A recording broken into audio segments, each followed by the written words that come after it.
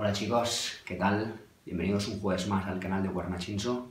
Esta semana estoy en Madrid, en el Centro de Alto Rendimiento, porque este sábado nos vamos de competición al, Campeonato de Europa de Gimnasia y siempre antes de una competición importante, ya sea europeo, mundial o Juegos Olímpicos, pues nos reunimos todo el equipo nacional aquí en el Centro de Alto Rendimiento y entrenamos una semana, dos semanas, el tiempo que, que decida el seleccionador antes de irnos todos juntos hacia la competición.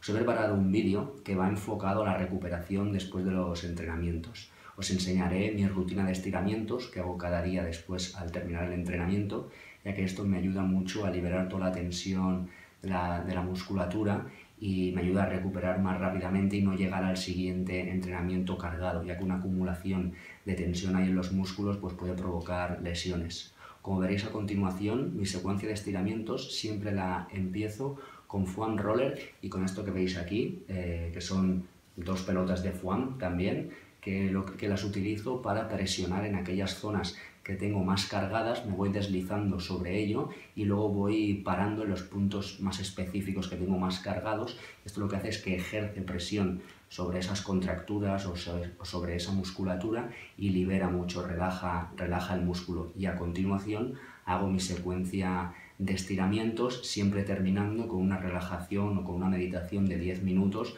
para calmar y relajarme después del ejercicio.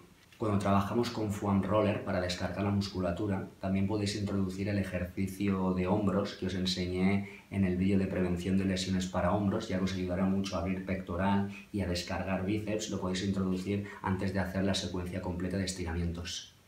Espero que lo practiquéis, que os sirva de ayuda. Muchas gracias, suscribiros a mi canal y nos vemos la próxima semana.